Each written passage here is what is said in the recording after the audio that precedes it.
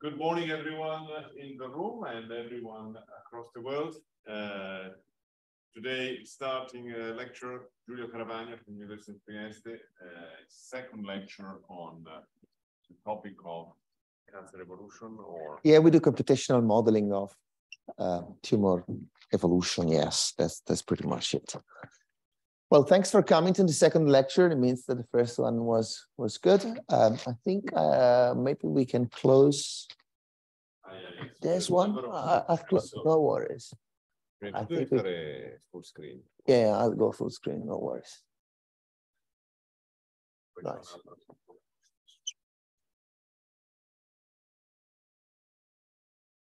There you go. We can also do this, right? Huh? It's okay?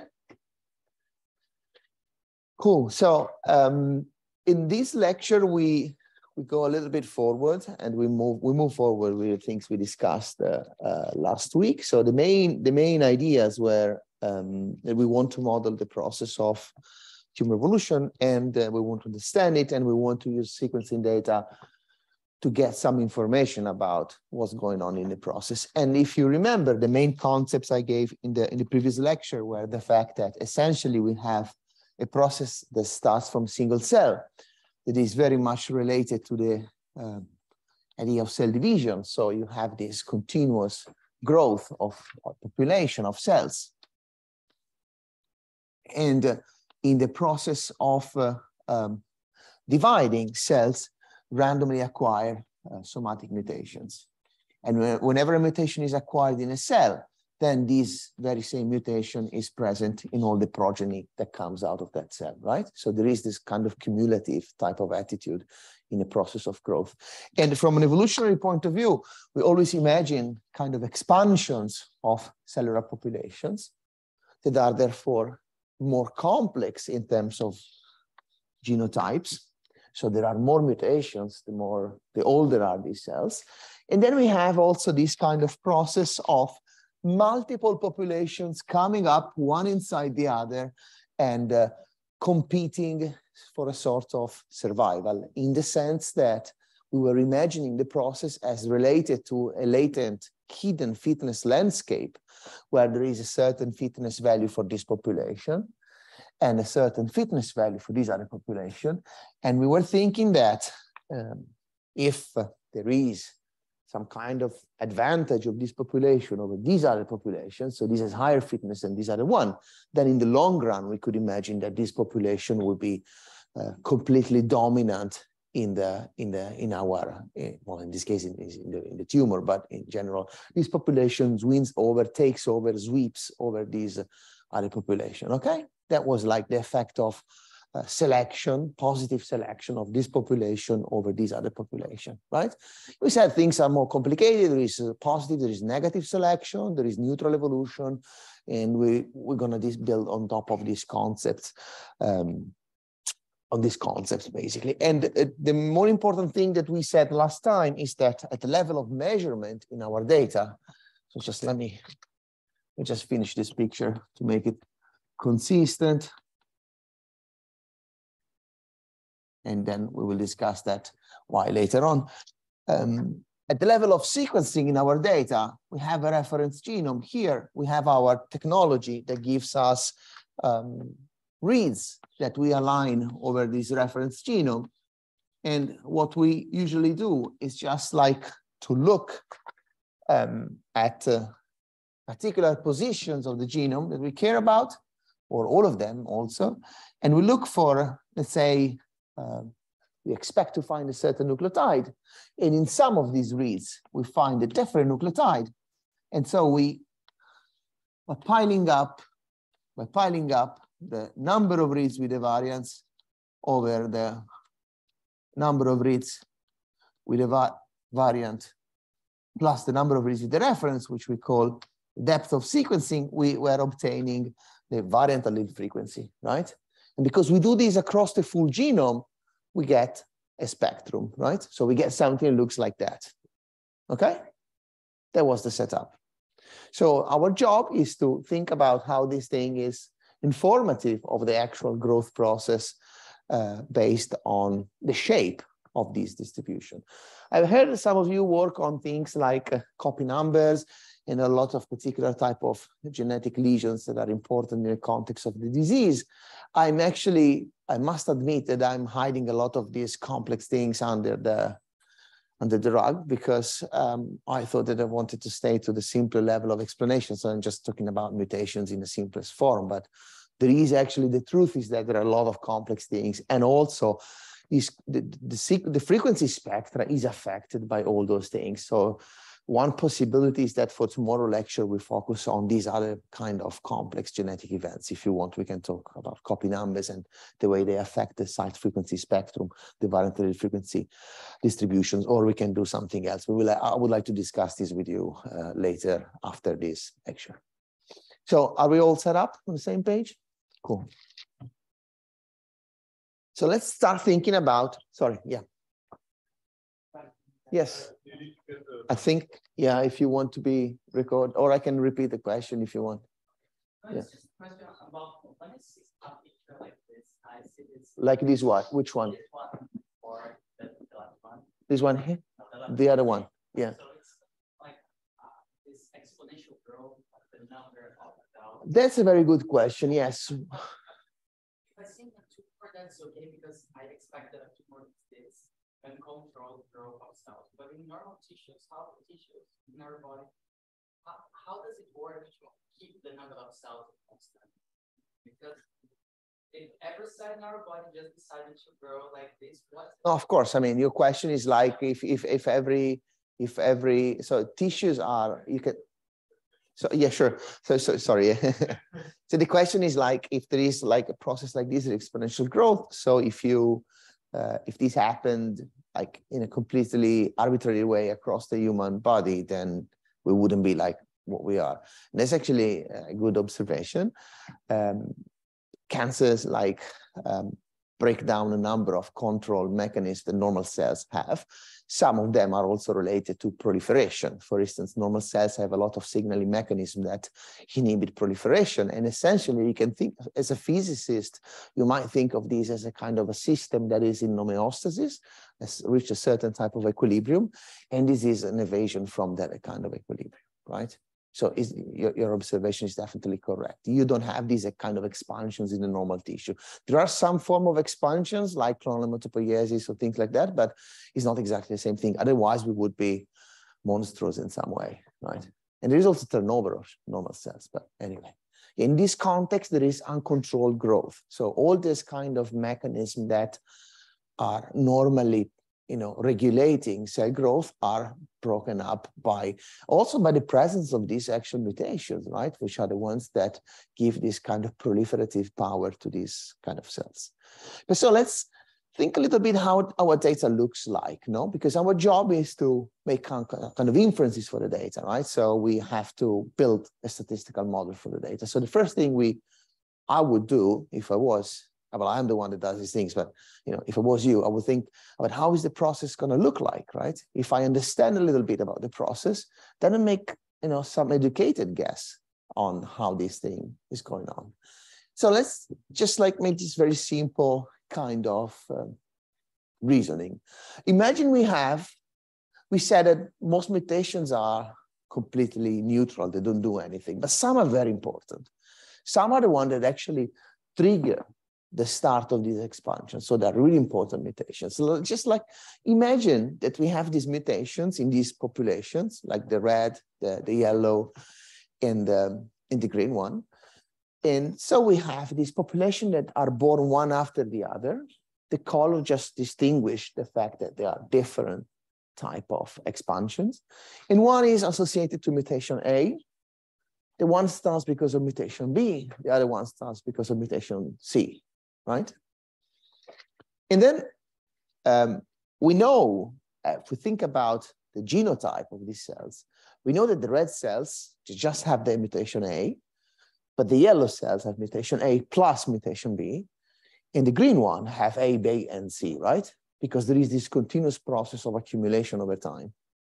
And then we have our, when we slice the tumor, right, at this point here, and at some point we we get a sample of the process here, we have 50% of the red ones, 30 yellow and 20 green. So we have, you know, different combinations of these populations with these proportions.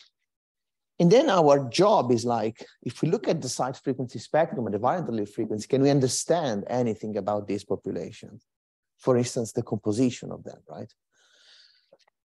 If you think about, you have your reference genome, which is this thing here, and you have your reads that get aligned to the genome, no? And when you align these kind of reads, you will have some aligning on top of mutation A, right? And this will be, let's say, well, these are, these should be the same red of the other one, right? It doesn't mean anything. So the one in red refer to reads that have the mutation. So like the ones that I drawn here with X. So because this mutation is present in all the cells that you have sequenced, right? because it's present in both the population A, B, and C. Your expected frequency, essentially you expect to read it from all the cells. But because the cells in normal scenarios, they have two copies of every chromosome, so you can think of representing that type of thing as like a cell like this, where you have one copy and another copy and the mutation is on one of the two copies. Then by you know picking at random one or the other, you expect half of them to have the mutation and the other half not to have the mutation. So your expectation over the frequency is 50%. And in fact, in this very simple cartoon, you have 10 reads and five of them with a mutation. So you have an expectation of 50. Then you go to the one that is on B, right? The one on B is read, well, the mutation is detected only in two out of three populations, right? Because the population that is red is wild type for B. It does not have the mutation in B. So whenever you read it, you can think of this as a process in which on the, on the B one, So red cells, if you look at the B mutation, they're like this. They don't have the mutation, right? So whatever you read is going to be wild type. And in fact, your expectation for the variant allele frequency is lower and becomes to be 25%. Because that's in present in 50% of the cells. And then if you can go lower, go to lower frequency, so you take mutation C, you will find even lower allelic frequency. So this suggests you that essentially the temporal evolution of the process, because the ordering of ABC, is somehow represented also by the frequency at which I see the mutation, which makes sense, right? Because we said that as far as things go over time and grow and become dominant, they get overrepresented. And because they get overrepresented, it means that their frequency must go higher, right? Does it make sense? So this also suggests us how the site frequency spectrum, the variant allele frequency should look like. Because it's gonna be centered at some values, depending on the size of these populations, on the relative compositions of the population in my sample, Plus, there will be some noise due to this type of sequencing I'm doing, right? An actual uh, observational noise, right? Do we see this? Cool. This is pretty much our job. This is what we do for a living, is just look at things and think in terms of these kind of uh, numbers. And in fact, the most natural way of modeling this type of process is by thinking of a kind of a mixture model in which you have a certain type of, the mixture model is always written as a, uh, a summation of uh, likelihoods of components, each one with their parameters, and uh, some mixing proportion, which is like a stochastic vector that sums to one, that tells you that your signal is a combination of signals in different proportions. In this, in this case, the proportions are the things that we were discussing before, right? So we have exactly this kind of nice way of representing the signal we were discussing before, no? Because you have summation over, in this case, k groups, k clusters if you want. That's why I said this is all about clustering in some way, no? Because these are just a classical way of seeing uh, a clustering problem. And in this kind of um, example, you can see that the density comes up with the numbers that are actually the numbers we were putting on the on the composition from previous slides, basically, right? The same kind of numbers we're having before. What I'm just writing here is that our component likelihood will have to be suitable to describe the process we're looking at, no? But what is this process? Well, this is a process which I'm doing a lot of draws. How many? Well, depends on the coverage of this nucleotide. So depends on the configuration of my sequencing assay. And every time I either find the read with the mutant or the read without the mutant, right? So we can think of each one of these reads to be a Bernoulli process because we have two states for the read, mutant, wild type. But we repeat this process many times independently because each one of these fragments come off a different DNA molecule I'm sequencing in my assay to some extent. So the most natural type of distribution to use in this case, it's a distribution that is working on discrete read counts data that can account for coverage and the success probability, which is the expected allelic frequency of the mutation we're discussing. And in fact, the most trivial thing to use is a binomial distribution, where you have, you predict, no, the number of reads with the variant condition on how many reads you have and the success probability of the trials, no? So what you want at the end of the day is learning the success probability P, which is actually the peaks in the frequency space. Does it make sense?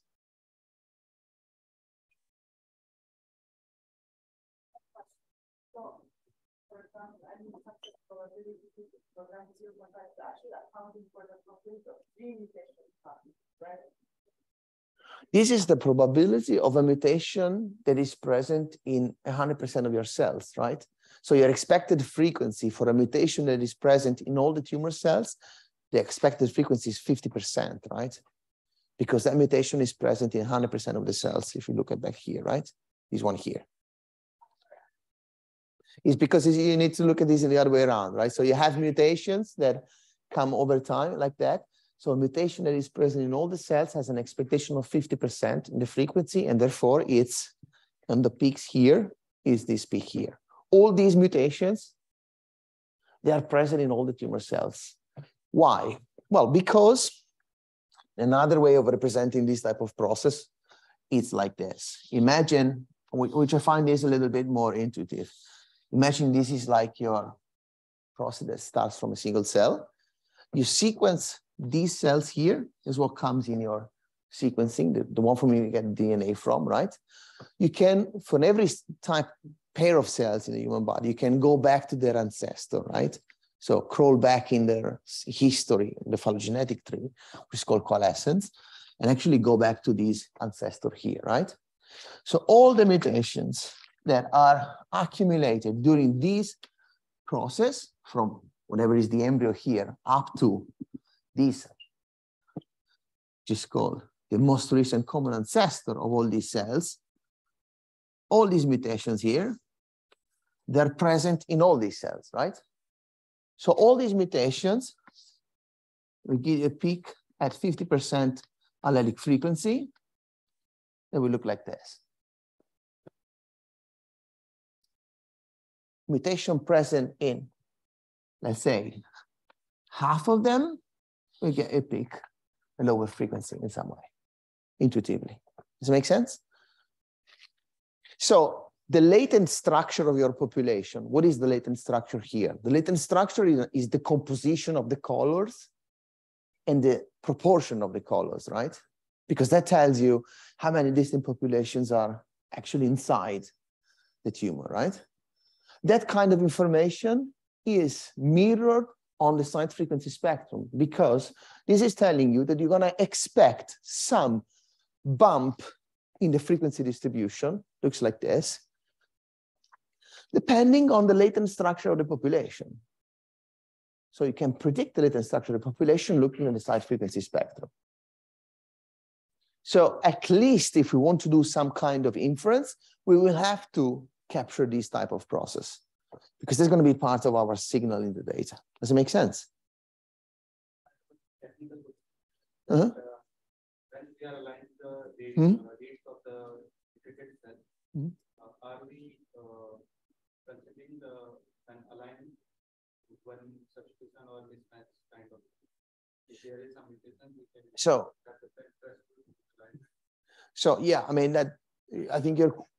yeah, yeah, sure. The question is whether we are considering uh, statistics of the alignment quality or things like that. In general, in these kind of things I'm saying, no, we are assuming that you have done your alignment, you have taken all the reads and align in a certain position, and you decide, uh, for instance, you could decide the quality score for the reads alignment and only retain those that have a certain quality score. So I'm not really, so this kind of story does not really depend on the alignment, if you think, no? I mean, it's just like, this is like a characteristic of the process, no?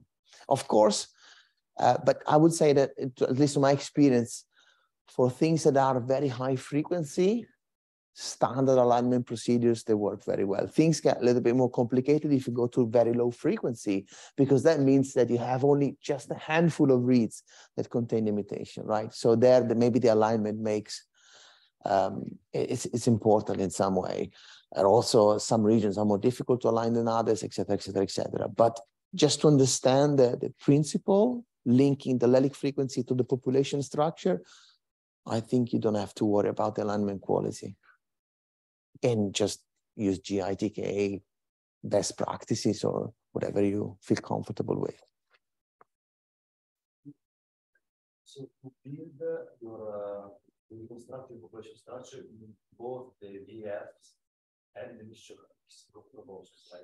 Yeah, so essentially, if you see this as like a, as a learning problem, which we're going to do, what you want to understand, there are two degrees of freedom here, right? One is like the success probability so the theta i of the mixture, which in this case becomes this p probability of the binomial distribution. And the other thing is like, what is the number of populations, k, right? Those are the two things that you don't know, no? So Essentially, parameter learning is the process of learning the values for P. Model selection is the problem of understanding what is the size, what is the value of K, right? How many distinct things you have. It's obvious that in this histogram, you have three, right? Human eye is much, you know, is a good predictor in this case. One of the good things about these kind of problems is that you can look at this data and have reasonable guesses, right? Because it's not like a super high dimensional problem where you could wouldn't be able to make any educated guess on the on the data distribution. No? But it's just like a classical, probably if some of you study machine learning and multivariate um, Gaussian distribution, this will be exactly the same kind of problem, no? In the multivariate Gaussian distribution, probably you want to understand how many Gaussian distribution you want to use, and then you will be learning the, the mean of the Gaussians, and maybe the covariance of the Gaussians, which will be exactly the same thing of learning this P here, right? It's just simpler in this case because it's a different type of distribution. It's a distribution done to model discrete read counts because what we're modeling here is a discrete process. No? But this is not the only type of signal we have in our data. Hmm? There is another type of signal we need to think of. And that's very important because so far we have an idea that, okay, we need some kind of density, mixture density related to uh, this kind of bumps in the data. So we need that. Okay, we buy it, we do understand it, but maybe there is something else. And actually, this is like a complex part of the of the of the process because it's important and is something that people realized only over recently, I would say, over the last few years. If you remember when I discussed the principle of the evolutionary process, I said that uh, there is this kind of question, what does it happen when nothing happens, right? So what does it happen inside each one of these things? Which is the reason I draw it on the blackboard. What does it happen inside this thing? So nothing happens in the sense that you have a continuous accumulation of variation over time, but there is no change of frequency of these populations because all these mutations are neutral. So they change the genotype of the cells where they happen because they are mutations, but nothing special happens related to these mutations. While these are mutations, here the start and expansion, so this cell has a proliferative advantage over this other cell, right? So one of the things we have done so far is just modeling each one of these bumps by thinking of the growth process. But we also need to think, what does it look like, this kind of process in terms of our frequency distribution? Because it's there, right? Actually, most of the time, mutations are neutral. You don't have these like thousand expansions. You have some expansions during the growth of the tumor, but most of the time, most mutations are neutral. So actually, most of the time is spent acquiring more genetic variation that makes cell different one another, but leaving cell at the same kind of fitness level, just making them a little bit different. That's the thing that you are seeing when I show you the video, the other lecture, right? When these bacteria hitting on the antibiotic, they were becoming more and more and more different until maybe one of them gets that particular mutation and makes them outgrow the uh, antibiotic barrier, right? But they were different over time. If you had a clock measuring how we're different, it was like increasing over time, no? But that's non-functional type of difference. This is called intratumor heterogeneity, is not functional, it's related to the accumulation of neutral mutation. So we need to think about that process. And if you remember the kind of tree I was doing, I was making a lot of divisions with the same color, right, in blue. What I'm meaning here is that all these things are the same kind of blue, they're different one another. We need to model the growth inside each one of these populations. And we can think of this process in a very simple way, just like simulating that process, right? Imagine we start from one such cell here, this one here, or this one here, and that cell has one mutation, blue one here. No? Well, the, every time it divides, new mutations come up with a certain rate of mutation, right? Those come up on the two branches because evolution is always branching because one cell makes always two daughter cells. And they will segregate apart on the left and right lineage. And this process can be continued over time in a recursive fashion, and I will get more mutations, right? On the progeny of each one of these cells, there are new mutations. Actually, this is this, right? And then when I sequence, when I do this kind of cut, what I'm actually taking is the leaves of these three, right? The final four cells. What I can actually do, right, is to look at the frequency of these mutations, no? In a similar way, I reason about the frequency in the previous part. And if I do this, I will definitely see that certain mutations, like the blue ones, they're present in 100% of my cells. Hmm? So they will have an expected frequency of 50% if the cells are diploid. And then each one of these cell divisions is coordinated with a cut in half of the expected allelic frequency for these cells because the green and these uh, um, azure type of mutations, they are found in 50% of the cells because the result of branching out at the first cell division. And the one that happen afterwards, they are actually branching out second cell division, they are expectation of 25%. And if I go farther, I'm gonna get like 0.125, 0.0625, and so on and so forth. Every time I scale by half my expected frequency. And this is the expected allelic frequency construction of each one of these expansions.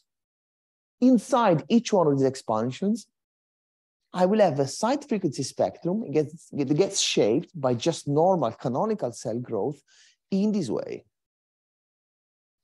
And actually, I can do um, what you see here is um, a stochastic process model in which you take one cell, you create, you have two types of events. First event, simplest one is cell death.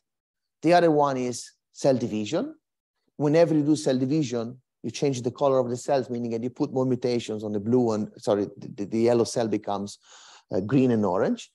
And what I'm doing here is just simulating two such population, exactly the same thing I have here on the blackboard, where first population is blue,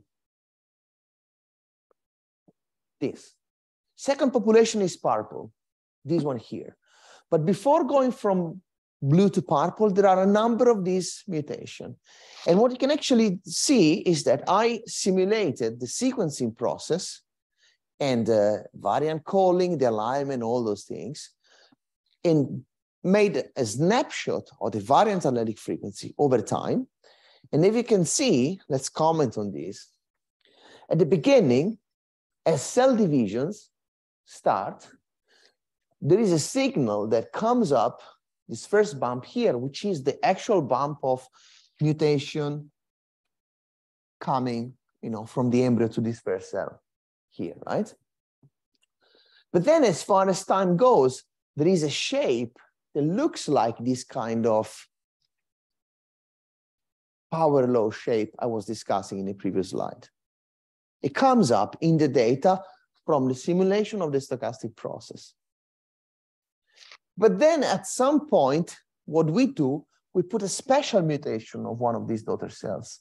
So in this simulator, what you have is a certain fitness value for this population, which is the probability of cell division, successful cell division, whatever you want, and another one here. And maybe it holds something like this. And the second one is much more fit than the first one. So what does it happen is that over time, this one takes over this other population. And as you can see, the, from the lowest part of the site frequency spectrum, which is only limited by my ability of sequencing, so the money I put on the table to make my experiment, something purple pops up at low frequency and slowly comes to higher frequency, right? Up to a point in which at the end of the simulation, both, so the, if you can stop it, so now it starts, just one sec. It started very low frequency, it starts growing, so the, the set of mutations go to higher frequency, up to a point in which, at the end of the day, the pool of mutations I see at high frequency is a joint thing of both the blue and the purple ones. But what I see is another type of power law type of distribution, which is what? Is the same kind of frequency spectrum originated inside this expansion, right? So whenever this kind of thing brings up its own signal to high frequency, you will have that it brings also up the neutral signal of its clonal expansion. Each one of these things is a clone. I would like you to notice also that if we sequence this guy at this point here, let's imagine that this one is associated to one mutation A, important mutation A, as I was saying before. This one is mutation B. Essentially, I will be seeing both at high frequency mutations A and B inside here, I will not be able to understand which one happened first, right? So when evolution resolves in the sense that one population wins over the other, so the B population, the AB mutant actually won over the A mutant, evolution looks linear in the sense that I only see who's the survivor inside this expansion. I don't know if there was any third population here that was competing, right? Has been completely swept over. Does it make sense? So evolution is always branched because of this process of growth. But when evolution resolves, it looks linear. And for you, the complex thing is that you're going to find a lot of maybe such mutations, high frequency that are important, but you won't be able to say, you know, if you look back in time, who was coming first? No? Do you see this? While, for instance, if when I sequence my tumor, I find something like this, then I can definitely relate a clock and say that this thing is coming before this thing, right? Because I'm catching evolution in the act. That's the main message. And this is exactly the thing I was discussing before. That's the bump of the binomial thing, right? Plus the tail. Do we agree on this? This is something that works in cancer, but you know, it's just like for every evolutionary process. Yes.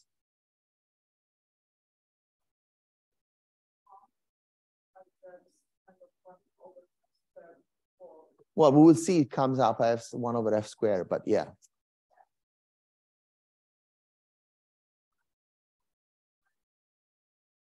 Well, think of this process, right? If I was to continue this over time, so a question is, let me repeat it. A question is like, can I clarify a little bit of this?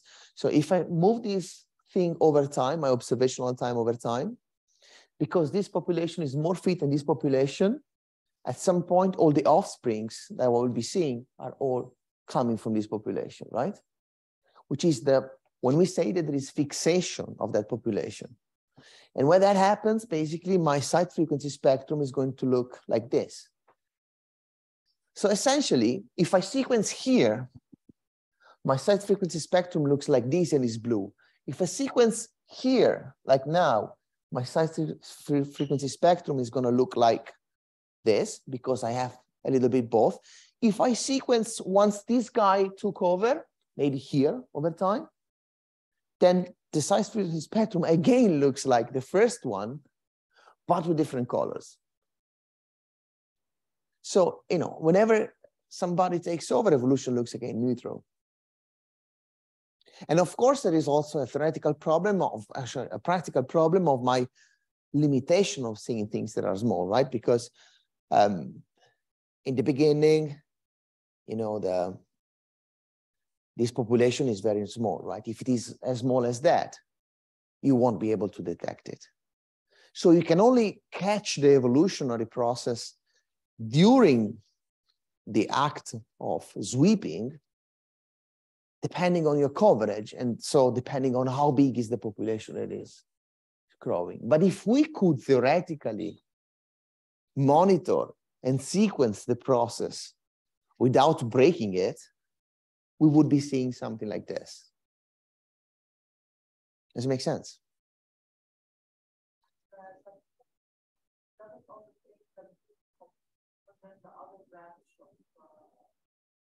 No, it, it, so the question is if it does overtake the blue completely. Yes, yes, it does. But what is the thing? Like, look at this. Let me do another drawing. I can cancel this. Um,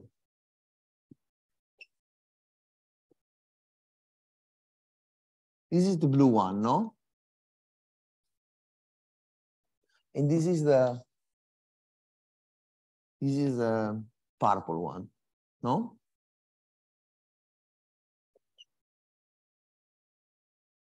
These are my cells. I have these uh, MRCA for the for the population. That's the MRCA for this population. For these, in this one is the MRCA for all these things, right? So I expect to see at high frequency. So the mutations that I see high frequency, the purple ones are the one that happen here. And the mutations that I see high frequency in the purple one are these one here. The one that come from this cell to this other cell here. So what you see, these leftover of blue things over there, this one here, they are this one here. And the purple ones that are high frequency are these. And the other purplish one that are going to shape the lower frequency part are these one here. So we call those mutations high frequency clonal meaning that they're present in all the cells. And we call the other ones, these one here, subclonal because they're present in a subset of our cells. Does it make sense? Okay. Um, any theory about what is the minimum number of mutations to start clonal expansion? Because of course now they're much bigger. Yeah, the big clone has many more mutations made. But but technically speaking, I think the question that we ask is: Is there any theory minimum number of cells to start a clone expansion? Well, technically, it's one, right? Because this expansion starts because at some point over cell division here, from this one to this one here, a particular type of driver mutation or epigenetic event, whatever you think it's important, was acquired. So technically, it's this one single event that makes this expansion.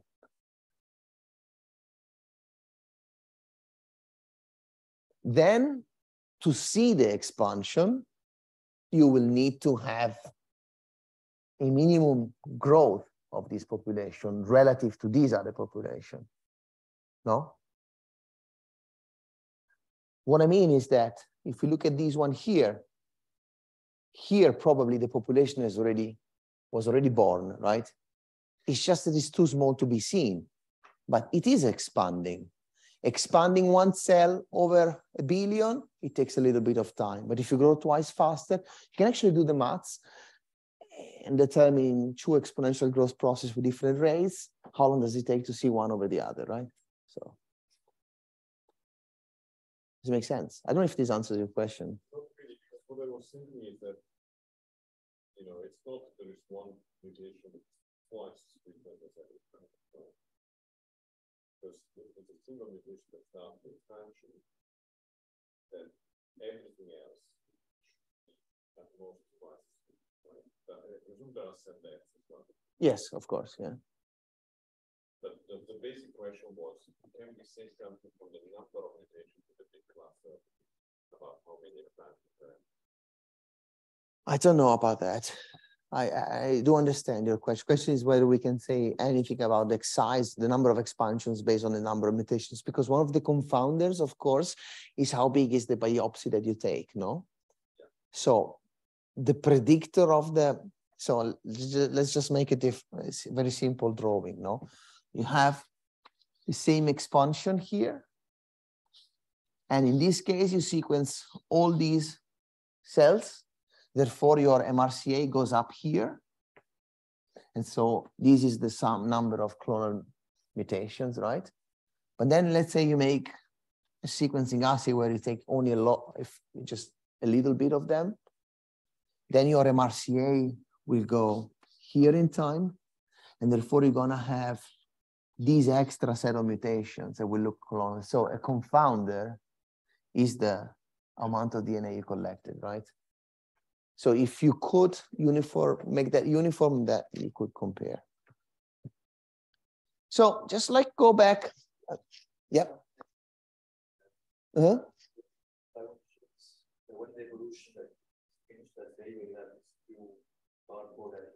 Mm -hmm. No, no, no, you don't see the color. So your, your statistical problem is putting colors on top of any of these snapshots. Yeah, yeah, yeah, sure. Here I'm simulating the process, so I know the colors, right? But our job is to, as I said in the first lecture, getting how many colors are there and which are these colors. push like one like dominating them. There is only one color. So there's no difference between that and the No, because it's like uh, it's like look at this, right? If you remember this slide, it's like if you were to sequence only the yellow population, you you, you would guess that it was born out of some red population, but you only be seeing A and B at high frequency, and that would be it. You don't know which one came first, right? So does it make sense? So anyway, if you are physicist, I'm, I'm not, yeah, sure. Well, there is a little frequency. Yep. Nucleotide level variants. yes. Yeah, yeah, single var- It's not a gene frequency. It's like the frequency of a point mutation in this particular sample I'm I'm sequencing. Okay.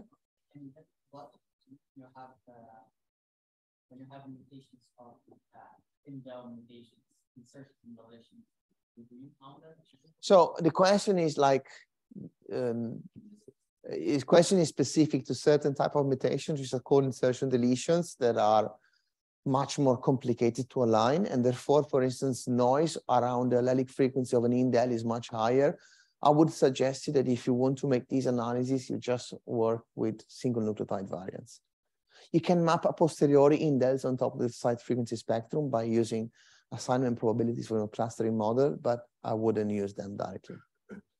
Anyway, just like to, to tell you that people have been thinking about the mathematics of this process, this kind of mathematics for this kind of process. And there is beautiful papers by uh, Kessler and Levine in the context of modeling Luria-Delbruck evolution, which is exactly the kind of process I was describing. Luria and Delbruck got a Nobel Prize for this. Um, they showed resistance uh, uh, growth in bacteria. So it, the beautiful thing is that they, they were the first one to make the experiment and do the mathematics for the population genetics of the process, which is the same mathematics we can use to understand and describe the, the, the variant frequency growth over time. And there is this beautiful paper on PNAS. And um, what essentially shows is that if you think about writing the probability, you assume that your population grow with a deterministic exponential growth rate. And um, you write a kind of discrete time Markov chain model where you want to ask yourself, what is the probability of having uh, M mutants at step n plus one? And that thing comes as the probability of, of having in the previous step one less mutant and uh, acquiring with a certain mutation rate a new mutation out of the pool of n minus n plus one. So the wild type cells get an extra mutation. So It's a kind of a simple combinatorial way of writing the process from which you can derive the master equation. And doing some complex mathematics, you can come to a point in which you derive the probability, the P of M, so the probability of M, by summing over the number of mutational events with things that look like a little bit Poisson processes in some way, because that's where they come from, and integrating over the possible times where they occur. And they show it, the analytical derivation, that the kind of distribution comes as a Landau type of distribution, which Guido should be very happy of. Um, and the asymptotic behavior of this distribution follows this one over x squared type of behavior, which is exactly this kind of power law frequency spectrum I was discussing before. There's the theoretical simulation. Um, the distribution is slightly different in regimes where you cannot really sequence because they're too low frequencies, right? You know, at the end of the day, we don't do much more than 100x when we look at the genome today. Maybe tomorrow we're going to get to 500x, 1000x, but still very far away from very, very small uh, frequencies.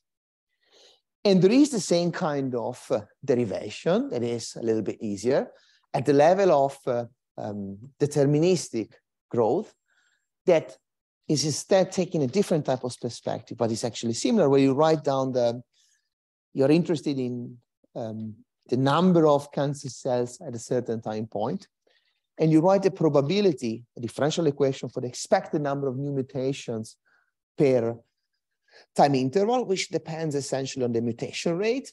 the ploidy of the genome, so the number of copies of the genome, normally this is pi will be equal to two, and um, uh, the cell division rate, so is actually what I was saying before, cell divide, they have a certain genome configuration and acquire mutation with a certain mutation rate, um, and then the number of cells.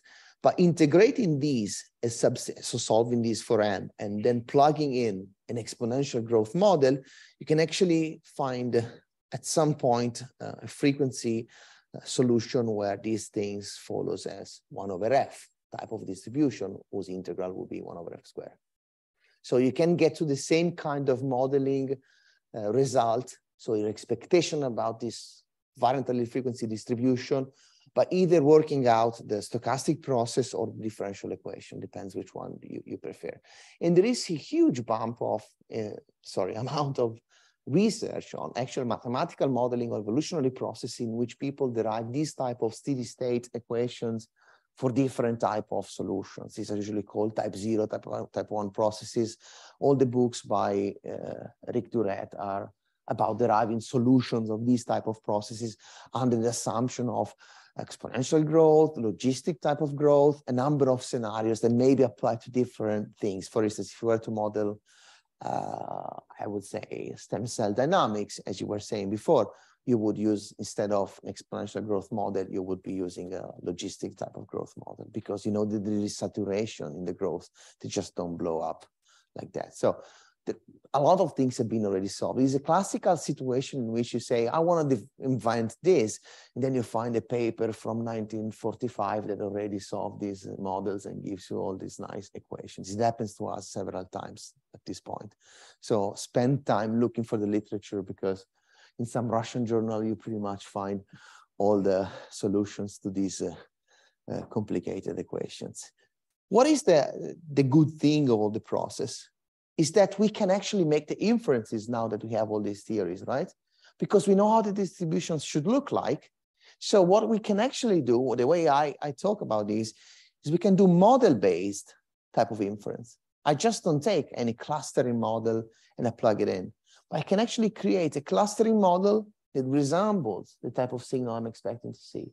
Taking into consideration two facts, the bumps we discussed at the beginning and the neutral evolutionary part.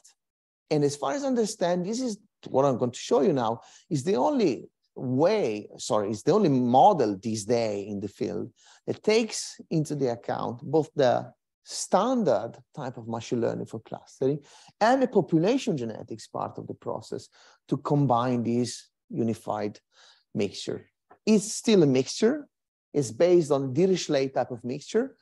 And when we need to decide what type of distributions we have to use, this thing I did like a couple of years ago. Now we are we are improving this, and um, but I don't have time to show you the improved version is still under preparation. But the, the key point here is that need to select what kind of mixture components you want to use. So the thing I selected a couple of years ago were distributions suitable to describe the site frequency spectrum. So Instead of modeling with the binomial process, I used a beta distribution because the beta is uh, constrained to be between zero and one. So there was like a good distribution for, um, for, the, for these bumps, the pink parts of the distribution here. And then, so that's like one of the components we need to put in our model. And then we also selected um, a type of Pareto type one distribution to model the bluish part of the process, so the neutral tail of the distribution. Does it make sense?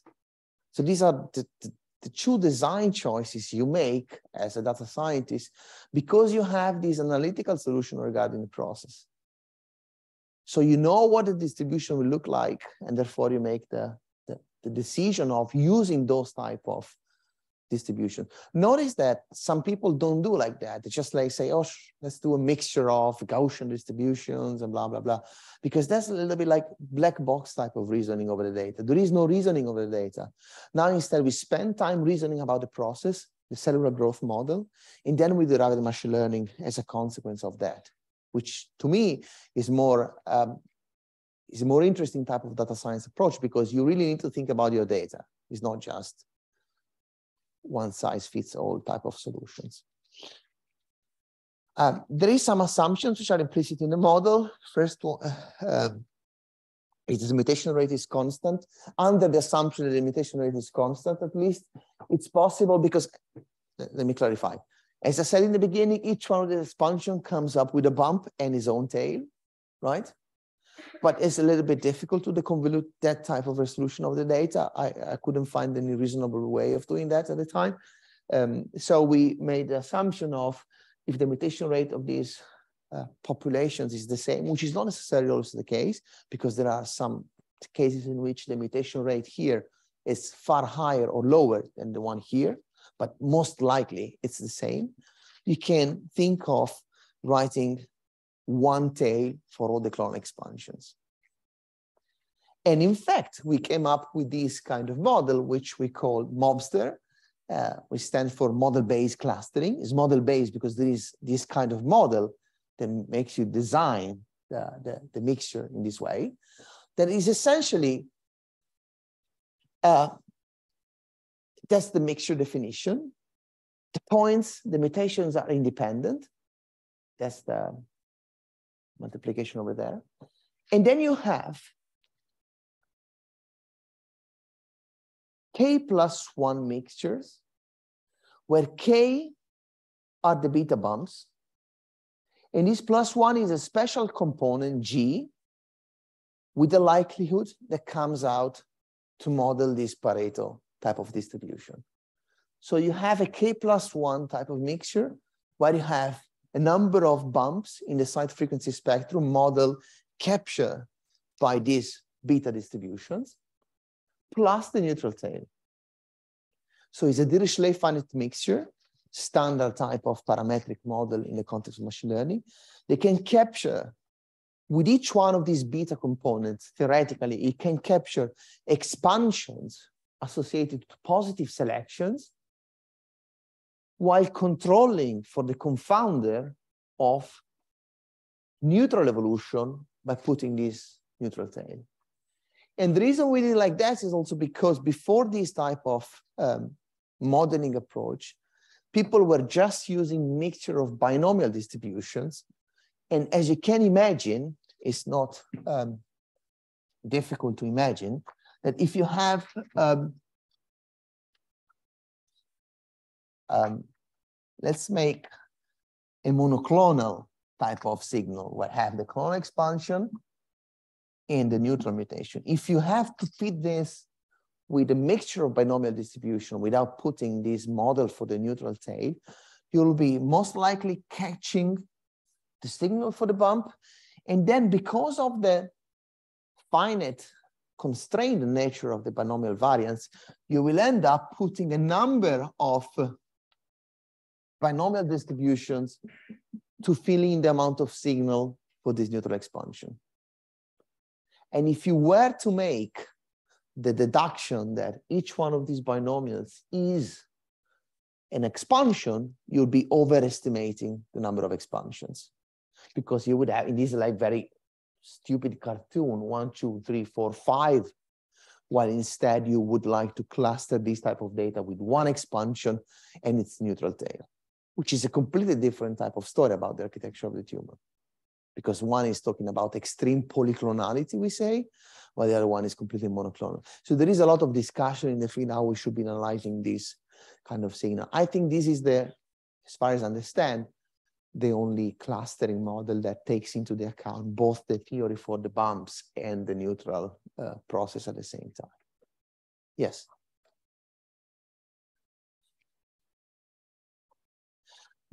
because they're this, right? These mutations are neutral. They make these cells different one another, but the change of fitness happens at the beginning of this and the beginning of that.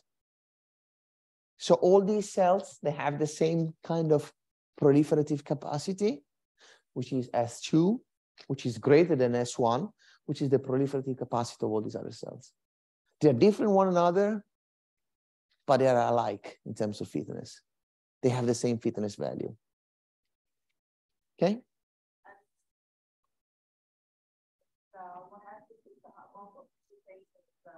Yeah, this will be a density. So yes, there will be number of mutations. Yeah, like this. So this is the way we put colors on top of the site frequency spectrum. I was ended up the previous lecture the other day, right? So these are the colors. If the question was like, how many colors are in the data? Then you would say there are two colors. One major expansion. This could be reach of important mutations because this would be the result of maybe several clones that one, one over the other. But here I'm also seeing one ongoing expansion associated to these set of mutations. Maybe there is something important inside here that justifies this, especially if it is a genetic associated type of expansion. Does it make sense? So this is a type of the convolution where you catch the evolutionary process in, in the act. Um, so if we go back to how do we actually learn the parameters of this process, the way we solved this at the time was like by using a maximum likelihood formulation, uh, a variation to the classical expectation maximization model. We had to make a little bit of changes because some of these things are not analytical. So we went, we could, we have both the numerical approximation of the maximum likelihood estimators for the beta, but otherwise we use some moments matching to, to catch the, to capture the mean and the variance of the betas, but that doesn't really matter. Um, but at the end of the day, what you want to optimize, which is I think more important, is the number of components, right?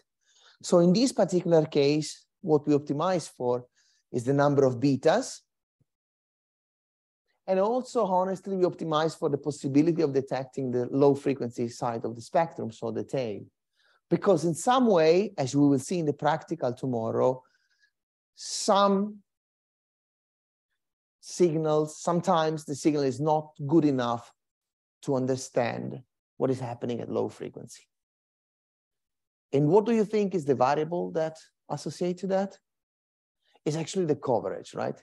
Because to have a clean signal low frequency, you need to have a lot of coverage. So again, money.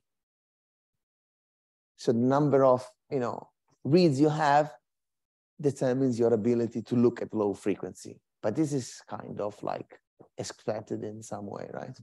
So, so if you go to the classical way of selecting the best type of parameters, so doing the model selection, there's of course like standard approaches based on regularization with the Bayesian information criterion where you penalize, you compute your negative log likelihood and then you penalize for the model complexity which requires to put the log of the number of samples plus the number of parameters, which in this case are the k plus one, so the mixing proportions, plus you have uh, one parameter for each one of the betas, well, two parameters for each one of the betas, because they have A and B as parameters, the beta, or you reparameterize, but still you have two parameters for the, the type of distribution. And two parameters also for the power law. The power law technically has a, scale and a shape. One of the two has a trivial estimate, maximum likelihood estimate, which is the minimum allowed frequency of your data. So that's trivial to learn. The others has to be learned by inference. But we have, we were not very satisfied with the, with the, with the BIC performance in selecting the number of models because we was finding too many clusters based on our interpretation of the data. So what I did is I took something which is called the ICL, which is an extension, integrated classification likelihood, is an extension of the, uh, of the classical BIC, in which we further penalize the solution for a given K by trying to induce the sparsity of the signal. So if you have a clustering problem, no, people do this kind of thing, right? This is the classical um, machine learning book where you have the mixture of Gaussians, right? You put like a Gaussian here and one Gaussian here. I mean, good.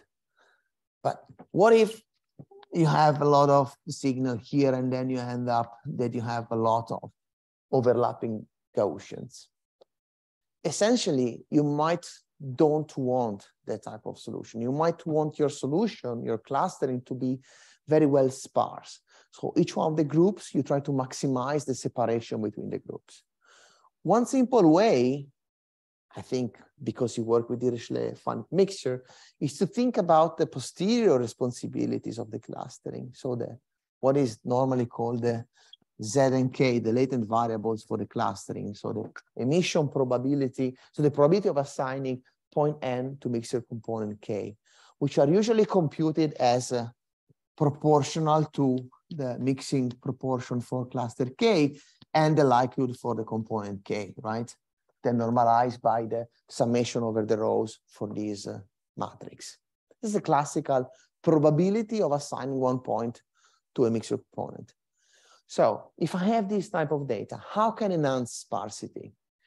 If you think of points like here at the overlapping of these distributions, all these points, they have some non-zero probability of being assigned to both this solution and that other solution. So the most simple way of catching that is by thinking of the entropy of the latent variables. Because the maximum entropy distribution is the distribution that is flat. So if it is flat, you have completely equal probability of going to one part or the other. So one thing you can do, and this is something that can help you if you have clustering issues in your problems, is to add the entropy of the latent variables on top of the BIC, which in this case essentially is given by the overlap of this distribution. So in the Gaussian, it would be something like this over this two-dimensional space. In this case, one-dimensional model is the overlap of these beta distributions, right? So what you want is to hunt, you want to penalize a solution where you have these kind of betas you don't like, and you try to promote solutions where you put very clear beta distribution together with the tail. Does it make sense? It's just a design choice again. Reason being that I want to talk about the subclones and I want to be 100% confident what I see is a real good signal subclone. Yeah. Yeah.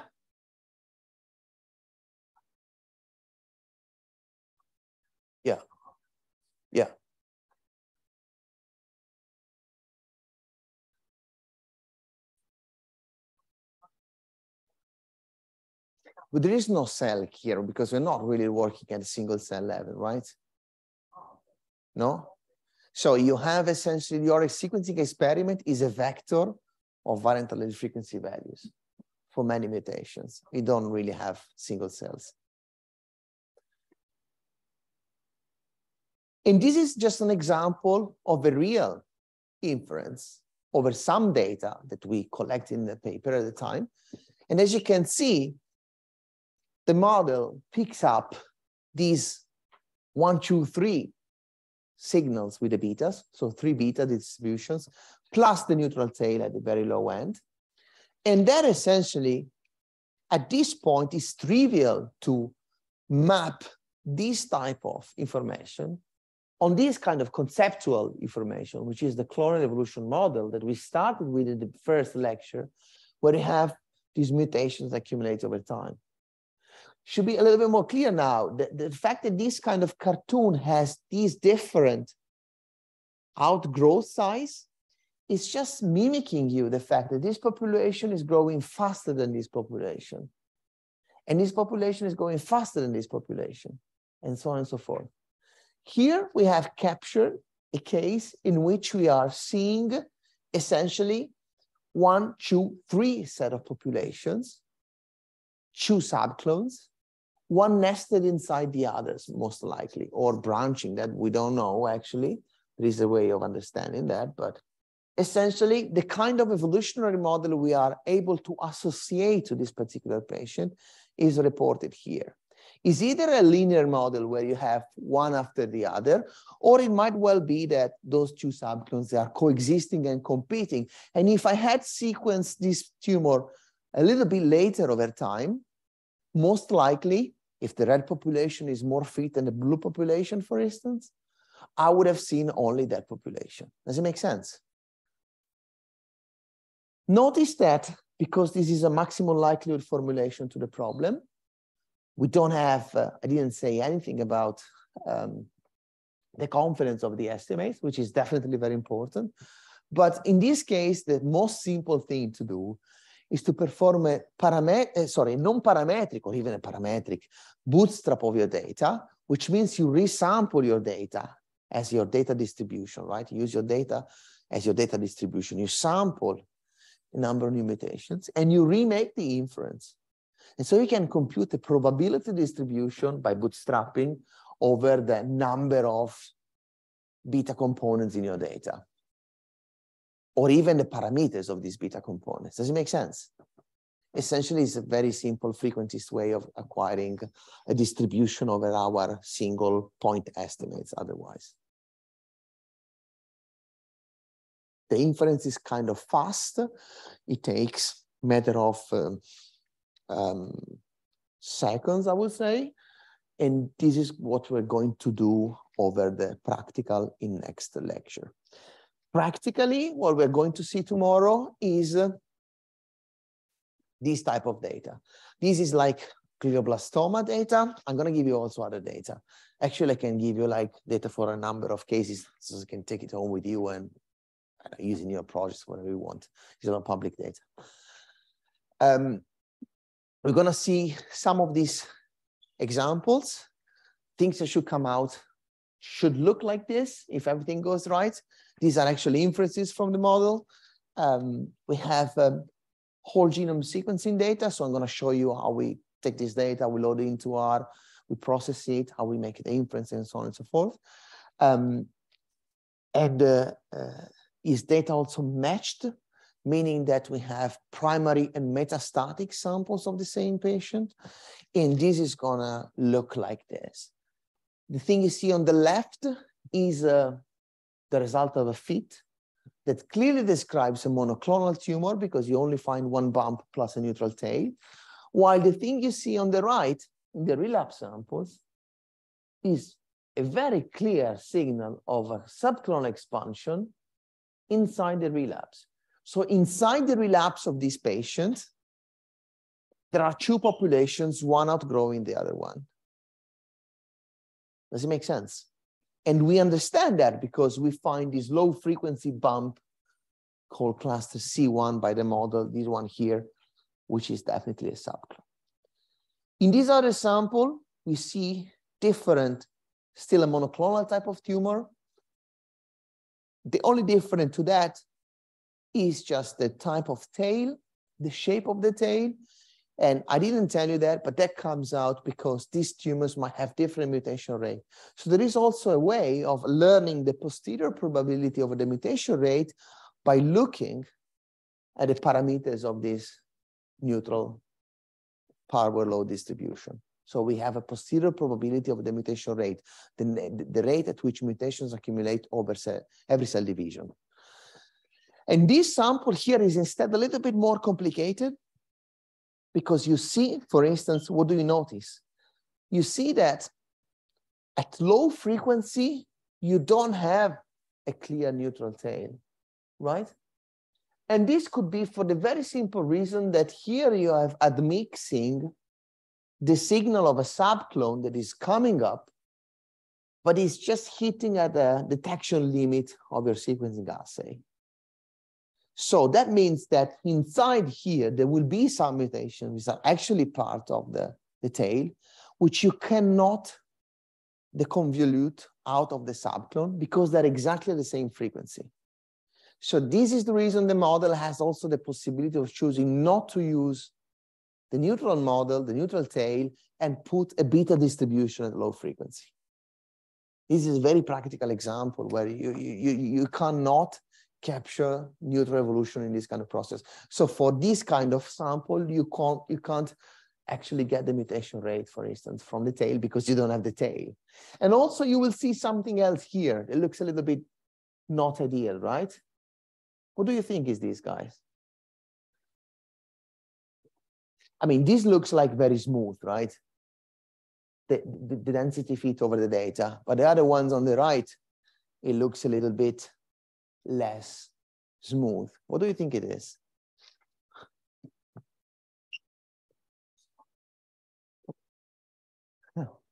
No, it's not money. No, because high frequency doesn't need that money. Money are important for lowest frequency stuff, right?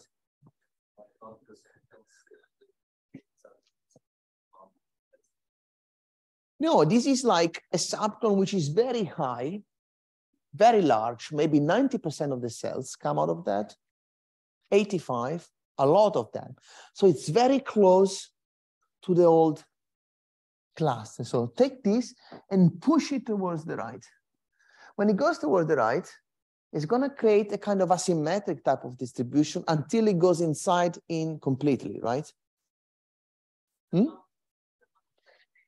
In fact, what, what you would be, so let me just like, if it has swept over, it goes just inside, and that's fine. But if it's about to sweep almost there, it's going to look like this, right? So you lose the symmetry of your distribution.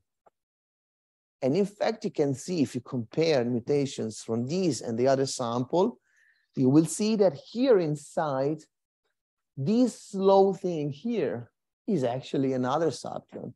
So technically there are three subclones. The model is not able, if you wish so, to capture, to decouple them. And the reason is because we use the continuous type of distribution that has the flexibility of acquiring some large variance. And therefore, it will just merge them. But if I take these set of mutations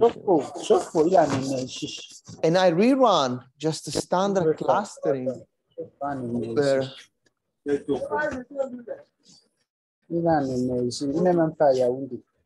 I want to mute this.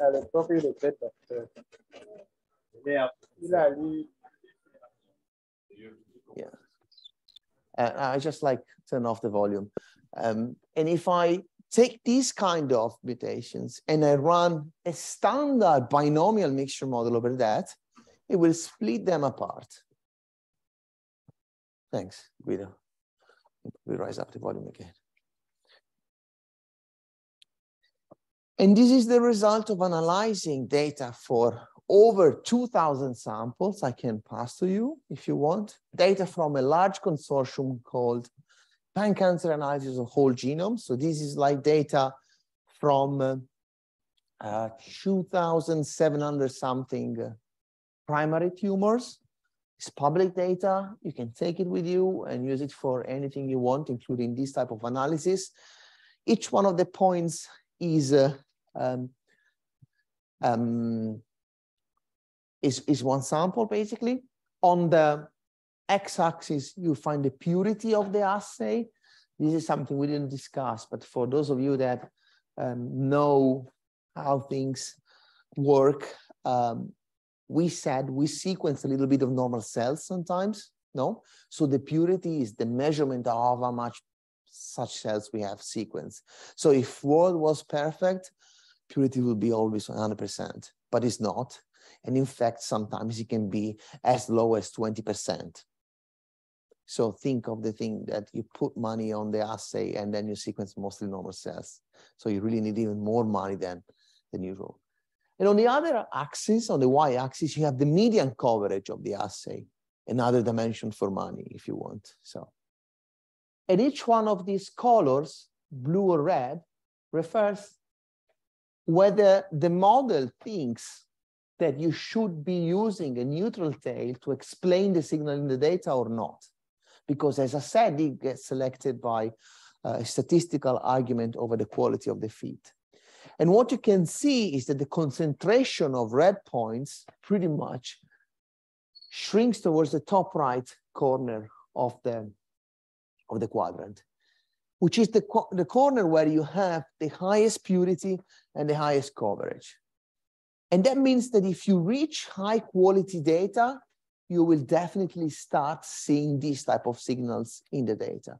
If you stick to lower resolution type of data, you will have more difficulties picking up that type of signal, which is also one reason that this kind of um, computational computational innovations came out at a time in which sequencing quality was high enough to start seeing these type of signals in the data. So this concludes today's lectures. And what I'd like you to do before tomorrow, please, if you have RStudio, unless you already have done this for your own uh, stuff, please install DevTools as a package because we're going to use that to install packages from GitHub. Does it make sense? Do you know what this is? Everybody does know it?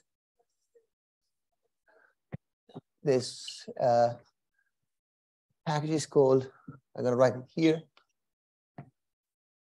DevTools, which essentially DevTools contains functions to install packages directly from GitHub because I don't put packages on CRAN or Bioconductor. I leave them on GitHub. So if you install these, I'm just telling you to do this because it takes maybe five ten minutes because it compiles on your computer and I don't want to waste time tomorrow. Then tomorrow we install the packages I did, which is like a few minutes. It's no problem. But these do it before. Tomorrow we're gonna take, what we're gonna do tomorrow is to take some of this data and actually run this analysis we're going to do this with me on some samples. I'm going to show you like how do we inspect the quality of the feeds, how do we decide if the feed is reasonable or not, blah, blah, blah, just basic pre-processing. And then I'm going to leave you some data and then you can probably do some analysis yourself and uh, see if you see anything that you think is interesting. Does it make sense? Questions? Yes. Can you speak up because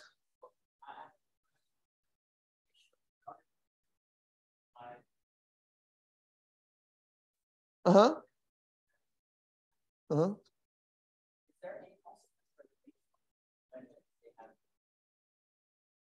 Well, yeah. So having a population that grows faster than another, it means that in the same time span, you get more cells, right? So the tumor grows bigger. So that if the con if you can imagine the consequence as, I mean, a tumor becomes diagnostic when it starts impairing the function, basic functioning of, of the individual, right? So if on the same, if you grow faster, and you're gonna basically get to higher size in shorter time.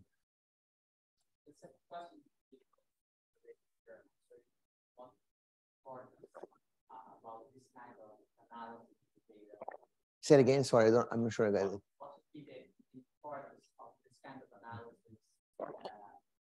Well, yeah. Yeah.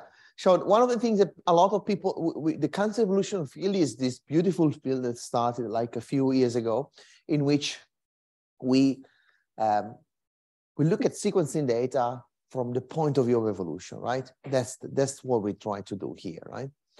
Which is interesting. It is interesting at some level because you understand better the process. So there is just a natural curiosity for understanding the process, but also then you could ask yourself, what can actually predict in terms of clinical covariates for my patient? One of the things we usually like to understand is, for instance, if you can predict survival probability of a patient under treatment, baseline condition, and so on and so forth. And so far, people used to do that a lot of based on the presence of particular mutations. If you have mutation A, you have this risk. If you have B, you have this. You have A and B, blah, blah. But one of the things that you could naturally imagine is to use some surrogate statistics of this process as the predictor. Number of such populations or complexity of this or mutation rate of the process. A lot of these kind of phenomenological features of the cancer are potential predictors of clinical outcome. So we are at the point in which we are trying to dissect the best of the methods to understand how do we really get the precise estimate of the evolutionary process because that information once we're going to have like large cohorts could be used to predict outcome and maybe develop biomarkers of some sort. At least some people want to do it like that. So there is always a translational output to what we do. But even if could, this could also make sense if you just were curious about understanding the, the basic functioning of cell growth. If you see, this is really about reasoning on how cells grow and how variation emerges over time, no? Where variation is mutations. And as I said in the first lecture, variation is the source of life in some way, right? So it's an important mechanism of evolution. So we evolve like this on a different time scale because this thing happened over 15, 20 years over cancer. But we are like this because we evolved to a process like that. We underwent selection in the past, right? So we swept over some other populations, most likely. No? Okay, thanks.